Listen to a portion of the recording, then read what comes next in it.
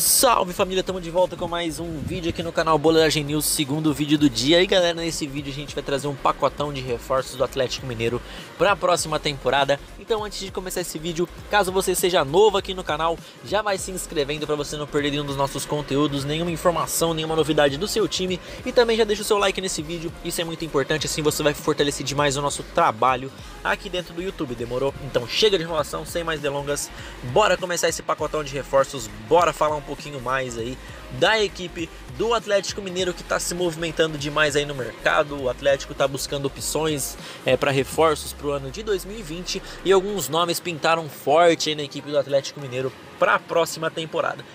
Então vamos começar aqui com o primeiro nome dessa lista de reforços aí do Atlético para a próxima temporada. E o primeiro nome é de um volante, né? O volante Alain, que pertence ao Liverpool, mas estava emprestado para o Fluminense aí nessa última temporada. A negociação aí gira em torno dos 12 milhões de reais e o atleta tem como ponto forte os seus desarmes de bola e também as suas transições, tanto para o ataque quanto para a defesa. Mano. Então é um jogador que chegaria para agregar demais esse meio campo do Atlético Mineiro, é um jogador que chegaria é, muito forte no sistema defensivo, mas também chegaria muito forte ali no sistema ofensivo, ajudando os homens de frente. Então é um jogador interessante e chegaria assim para brigar por titularidade aí na equipe do Galo para a próxima temporada, mano.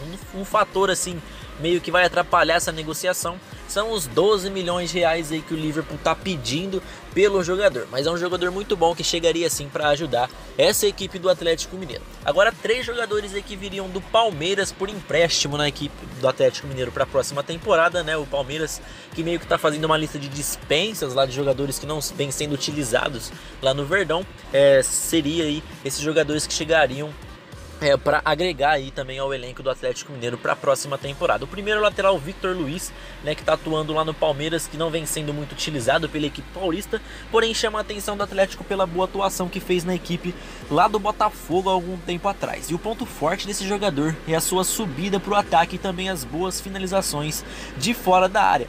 Aí a ideia da diretoria Alviverde é a venda do atleta para 2020, né, mano? Porém, o Atlético monitora a situação do lateral e quer contratar ele por empréstimo, que o Palmeiras também disse que há possibilidade desse, desse empréstimo acontecer lá para o Atlético Mineiro em 2020. Outro nome do Palmeiras é do atacante Johan, né, que atua lá também na equipe do Palmeiras e é outro jogador que pode pintar no Atlético aí para a próxima temporada. Ele está sendo pouco utilizado lá no Verdão e o atleta pode ser negociado na próxima temporada e o Galo também monitora toda a situação do atacante Johan, que tem como sua maior qualidade a velocidade e também os seus dribles, né, mano? O Atlético tem interesse na contratação do jogador por empréstimo também até o final de 2020. E outro jogador lá do Palmeiras que chama a atenção do Atlético Mineiro é o meia Zé Rafael, que tem um contrato um pouco mais difícil, porém não é impossível, né, mano? O meia terminou esse ano sendo utilizado pela equipe do Palmeiras, diferente do Johan e também do Victor Luiz, e é um jogador muito importante aí do elenco alviverde. Porém, o Galo tem forte interesse na contratação do jogador que está sendo avaliado aí na casa dos 16 milhões